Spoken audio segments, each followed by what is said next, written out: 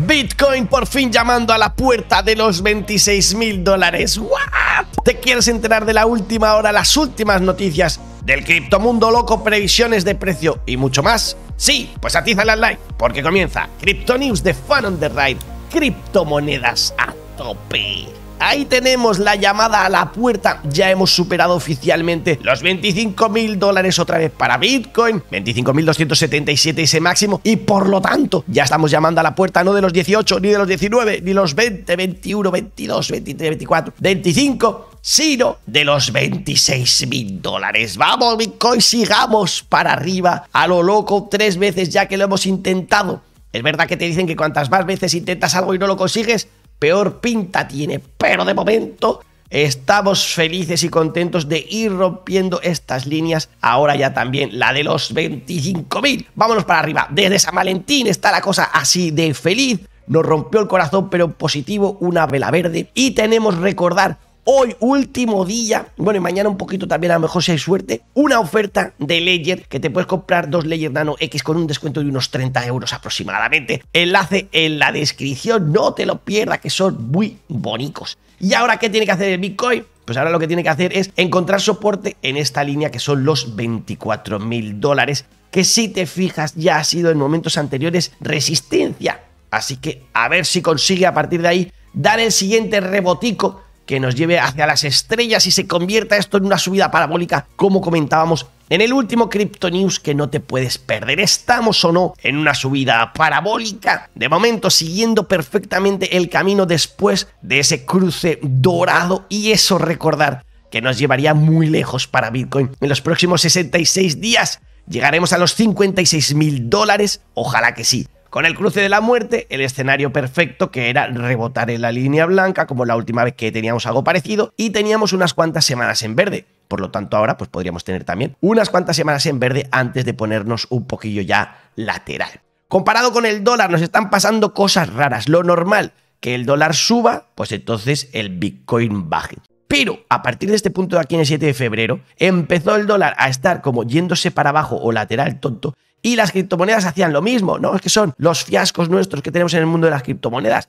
No lo sé. El caso es que se iba para arriba el dólar y se iban también para arriba las criptomonedas y las acciones, todo yéndose para arriba, que eso no es normal, que normalmente es contraindicador. ¿Qué está ocurriendo? Bolsa asiática yéndose para arriba como loca. Estados Unidos el viernes que terminaba también con felicidad y alegría. ¿Será ya punto suficiente este aquí de rebote en la cuña descendente para que Bitcoin se deje para arriba? ¿O nos queda todavía unos deberes ahí en los 19.815 con el gap. Repasamos estas noticias todos los días porque son los puntos más interesantes. Vamos a hacer la subidilla de San Valentín y caer a rebotar, irnos para arriba. Seguiremos vigilándolo mientras haga falta. Estamos por el camino de 2020 todavía, entonces nos tocaría un poquillo de bajada. ¿O no? ¿O crees que estamos siguiendo algún otro camino?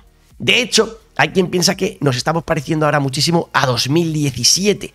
Y si eso fuera así, pues aquí tu amiguito Rodri te lo pone TradingView Pro, enlace en la descripción si quieres hacer estos dibujos como yo. Y te pongo esta nueva línea que no vigilábamos, que es 2017. Y esto, bueno, a partir de determinado momento sí es verdad que se ha ido pareciendo. Se parece más el camino que seguíamos nosotros de 2020, pero es verdad que ahí lo tenemos. Si fuera así, si estamos emulando a 2017, que no tenemos por qué estar haciéndolo y que no tengo ni idea si lo estamos haciendo, pues entonces seguiremos todo el mes en pepinazo estupendo que nos llevaría a los 26.000, casi 27.000 dólares para cerrar el mes en lugar de lo previsto que era un rebotico en el entorno de los 20.000. Lo veremos aquí, lo que tenemos que hacer es romper esta línea, la media móvil de 50 en el gráfico mensual, para pensar que nos estamos yendo ya a un mercado alcista y Alcoin Daily que destacaba hoy el gráfico semanal y nos habla de la media móvil de 200. Dice, ¿no veis que está siendo resistencia? Que eso es mala cosa porque fue resistencia aquí y lo fuimos para abajo. Que poquísimas veces en la historia del Bitcoin hemos estado por debajo de esta línea, de esta media móvil de 200 días, que normalmente es el rebotico, que es la diferencia entre estar en un mercado alcista y en un desastre total en el que estamos. Pues venga, a ver si lo conseguimos superar. Noticias buenas para superarlo tenemos. Por ejemplo, tenemos un nuevo CEO en YouTube, que a ver si nos sube los dineros que nos llegan, que llega muy poco nuevo CEO y que está súper a favor del Web 3 y de estas novedades que entre otras cosas nos traen los NFTs. Este hombre ha dicho que los NFTs molan mucho para que los creadores tengan más recompensas y otras cosas. Así que quizá ahora quiera meterle la novedad de aceptar los NFTs. Ojalá que sí. Mark Zuckerberg tenemos ahora que ha metido como Elon Musk la versión de pago para verificarte en Facebook e Instagram. Que dirás tú, ¿esto es interesante o no? Pues nos dice Luke Martin que sí, porque a lo mejor es el momento para que empiecen a verificarse las cosas por tener un NFT en lugar de por la suscripción como la conocemos hasta ahora. Si Twitter, si Instagram, si YouTube implementan los NFTs como accesos, pues entonces ni te imaginas el pelotazo que va a pegar aquí la cosa. En un momento en el que en realidad pues el tema de meta, o sea, lo que es el metaverso, o Tencent, que también es un gigante que está metido en eso, están recortando esos planes que tenían para el metaverso en sí mismo, que parece ser que es una experiencia inmersiva que la gente no está de momento por meterse ahí dentro, que es incómodo, que es un trasto el hardware que te tienes que poner, y de momento parece que se desarrolla más lo que es la realidad aumentada que con una gráfica más sencillas o con el móvil, pues donde estamos te puedas poner algo mejor. Y ahí los reyes son nuestros amigos colaboradores de Over the Reality, que por cierto, si quieres diseñar parte de esa realidad aumentada, pues recuerda que tienes un concurso genial que puedes ganar un montón de pasta exagerada en tokens OVR y también recuerda que puedes ganar si te pones a mapear el mundo como han mapeado aquí. Que ríete tú del Google Maps y su Street View, que esto en el futuro lo va a petar. Te lo contábamos todo en un vídeo dedicado Map todo sobre esta aplicación y la realidad aumentada. Si no lo has visto, tienes deberes para hoy. En un día en el que el mercado de tanta alegría se está poniendo rojo, se ha puesto verde tan oscuro, que al final pues pasas al rojo. Las bolicas que aún así están exuberantes, gorditas y verdes como a nosotros nos gustan. Y aquí vemos las principales stacks STX, algunas zombie coins que están resucitando. ¿Por qué? Que hay detrás de estas subidas locas. Estamos ya en el inicio de una nueva etapa loca en el mundo de las criptomonedas. Podría ser. Ethereum que sigue en su megáfono por debajo de la parte superior de esta línea que tenemos aquí, fetiche para nosotros, pero enfilando a los 2.000 dólares. Litecoin, que ya no es una, que ya no es dos, que ya no es tres, montón de veces ya por encima de los 100 dólares, pero no acaba de explotar. Necesitamos un pepinazo gordo, a pesar de que estamos en avaricia cada vez más en el mercado. ¿Tenemos que tener algún miedo? Hombre, pues miedo también, pero de momento con la felicidad de que Bitcoin ha vuelto a superar a Visa en capitalización de mercado. Recordar que en la página web de Fanondrive, fanondrive.com, en la sección de Aprende, en la sección de Aplicación útil, pues tienes el Infinity Market Cap este de aquí, donde vas a poder ver efectivamente pues, los principales instrumentos que hay por ahí. Y Bitcoin ya está por encima de Visa, buscando a por envidia que se muere de la envidia. Miedos del día de hoy. Continúa el efecto dominó de FTX y ahora tenemos un criptofondo de cobertura que se llama Golos Capital que ha tenido que cerrar finalmente también. O sea que aún hay ahí algunos efectos de este desastre. Y es normal y durará muchísimo tiempo. Todavía tenemos los efectos del desastre de MTGOX y anda que no han pasado años. Pero, como con todo, ojo cuidado con las noticias, estaban todo el tiempo diciéndonos, ya verás cuando devuelvan los dineros de MTGOX que se va a caer el Bitcoin, que va a ser un desastre, y ese miedo, ese food, ese miedo, incertidumbre y duda, nos lo han estado repitiendo un millón de veces y todavía no se ha metido ese dinero en el mercado, aún no se ha liberado ese Bitcoin, aún no lo ha vendido la gente. Bueno, pues ahora nos dicen que el principal acreedor ha decidido recibirlo a un 90% que no a un 100% en septiembre, o sea que quiere que se lo den pronto, pero que lo recibe en Bitcoin. Así que cierta tranquilidad.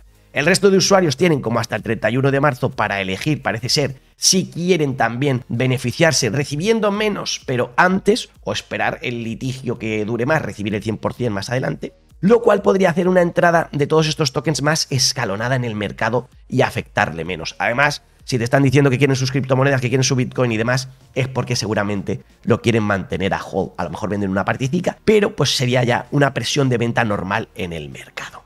Buena noticia también y unas risas que nos echamos con la SEC y con Gary Gensler que se lleva la pedorreta diaria otra vez. ¿Por qué? Porque metiéndose con las gentes de Kraken, metiéndose con los staking y con cosas que pues, cualquiera se puede meter, no consiguieron defendernos del fiasco de Terra Luna del Do You Know. Y ahora por fin han acusado al Do You Know de fraude en Estados Unidos por el tema de los valores, por todo el fiasco que nos hicieron con las stablecoin y demás.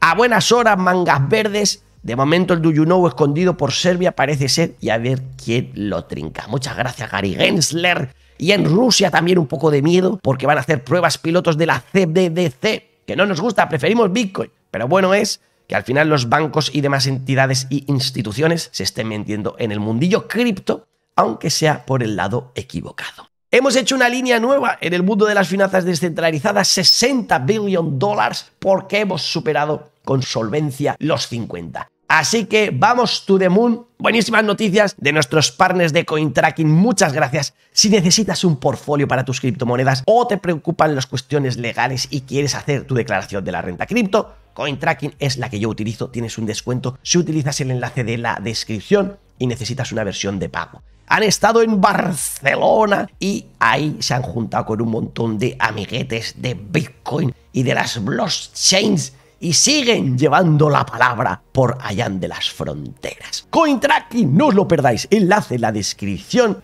y nosotros ya nos vamos con la sección de gaticos que nos dan mucho amor. San Valentín ha sido feliz para el mundo cripto y lo quieren celebrar. Por cierto, una vez más recuerda que solo queda un día para el descuento de los dos Layer Nano X unos 30 euros aproximadamente. Si quieres comprarte cualquier otra cosa, pues vete a la web con el enlace que tienes abajo y colaboras indirectamente con el canal. Con el Layer Nano S, si estás soltero o soltera, pues fenomenal. 79 eurillos, que no es nada para tu criptoseguridad. Luego te metes en fanonderred.com, aprende criptoseguridad y tienes todos los tutoriales gratis para aprender.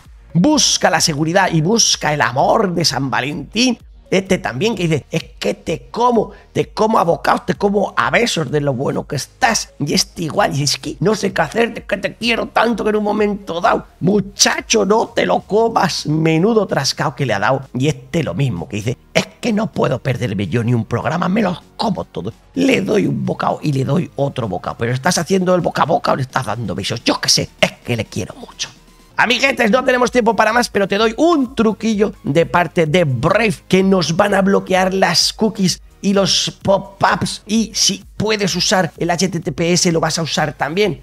En definitivas, que si no estás usando el navegador Brave, deberes de última hora tienes que utilizarlo porque ahorras, porque no tiene traqueadores, porque no te va a saltar publicidad por ningún lado. Tú pruébalo y si no ya verás. Y además que te puedes ganar su token mientras navegas y ahorras tiempo en tu vida.